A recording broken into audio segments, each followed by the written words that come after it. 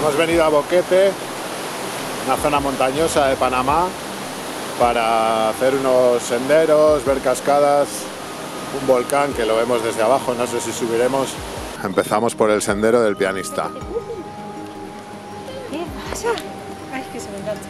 Hola. Pero qué micro mini.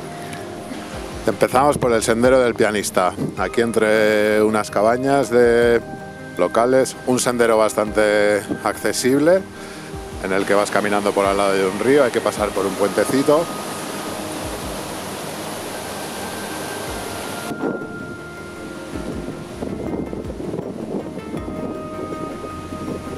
Hay zonas que parecen Hobbiton.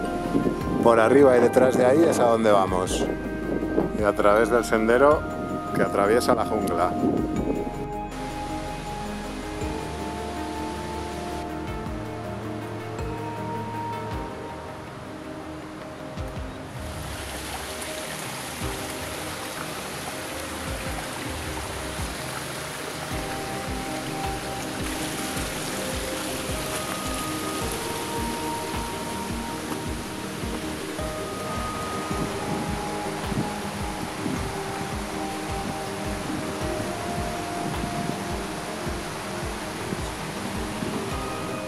¿Has visto esos dos?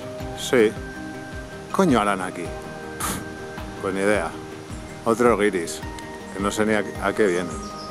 ¿Qué, qué están grabándonos otra vez, no? Sí. Eso parece. Pues nada. Uf, qué rico el moco. Ya te digo. Mariposas con las alas transparentes.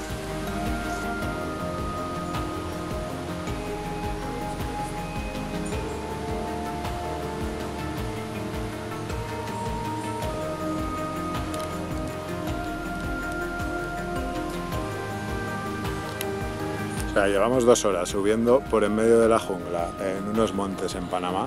Eh, espero no perdernos y ser los típicos que luego les encuentran muertos, ¿me entiendes? Mejor ves. Madre mía, qué subida, porque no hay ni Dios. La recompensa que en la cima se puede ver de un lado el Océano Pacífico y de otro el Atlántico o el Mar Caribe. Aunque apenas se intuye porque hay un poco de bruma, pero bueno, por ahí debe de estar. La recompensa esta.